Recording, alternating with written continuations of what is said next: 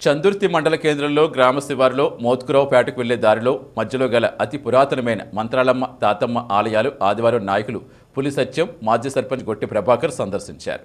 వీరి వెంట పులి వేషాధరణ సంఘం సభ్యులు ఉన్నారు.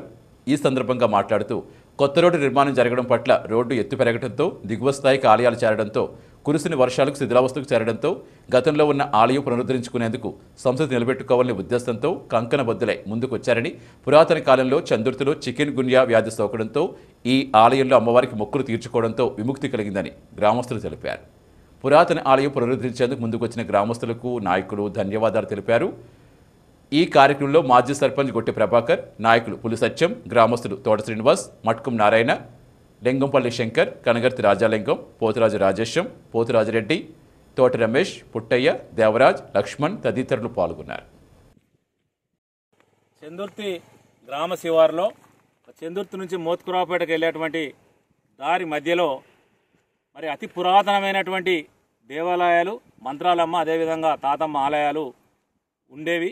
మరి ఈ రోడ్డు మరమ్మతులో భాగంగా దాదాపు ఒక రెండు గజాలు లోపల పడిపోవడం వల్ల మనం కురిసినటువంటి వర్షాలకు కూడా పూర్తిగా నీరుతో నిండిపోయి మరి అప్పుడు ఉన్నటువంటి విగ్రహాలు ఏవైతున్నాయో అవి కట్టెతో చేయబడ్డాయి కాబట్టి ఆ వర్షానికి కూడా అవి పుచ్చిపోయినాయి మరి ఈరోజు చందుర్తి మండల కేంద్రానికి సంబంధించినటువంటి మరి పులి వేషాధారణ సంఘం అదేవిధంగా నాయకులు పులి సత్యం గ్రామస్తులు పెద్దలు తోట శ్రీనివాస్ గారు మరి రెడ్డి వీరందరూ కూడా మరి దాన్ని గతంలో ఉన్నటువంటి ఆలయాన్ని పునరుద్ధరించుకోవాలి మన సంస్కృతిని నిలబెట్టుకోవాలన్నటువంటి ఉద్దేశంగా ఈరోజు వచ్చి దాన్ని పరిశీలన చేయడం జరిగింది.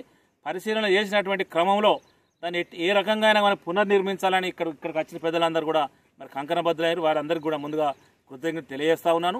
మరి గతంలో చందుర్తి గ్రామంలో చికెన్ ఉన్ని అనేటువంటి మహమ్మారి వచ్చినప్పుడు కూడా మరి గ్రామస్తులందరికీ కూడా ఆ దేవులను మొక్కడం వల్లనే మరి చంద్రుతిలో ఆ చికెన్ గునియా బారి నుంచి విముక్తి పొందిన పొందడం జరిగిందని కూడా పెద్దలందరం చెప్పడం జరిగింది. మరి గతంలో ఈ దేవాలయానికి వచ్చి మరి వనభోజాలు చేసుకున్నటువంటి సందర్భం కూడా ఉండే. ఇప్పుడు ఈ ఆలయాన్ని మరి ముందు మళ్ళీ పునరుద్ధరించడానికి మరి కంకణం కట్టుకునే పెద్దలందరికీ కూడా ధన్యవాదాలు తెలియజేస్తూ ఈ ప్రాంతంలో ఉన్నటువంటి రైతులే కాదు మరి గ్రామంలో ఉన్నటువంటి పెద్దలందరూ కూడా ఈ ఆలయ పునర్నిర్మాణానికి సహకరించాలి. త్వరలోనే ఈ ఆలయాన్ని పునర్నిర్మించి మళ్ళీ మరి ఆ- దేవతలను ప్రతిష్ట చేస్తామని సందర్భంగా తెలియజేస్తూ ఈరోజు ఈ కార్యక్రమం పాల్గొన్న పెద్దలందరికీ కూడా నమస్కారం తెలియజేస్తాం.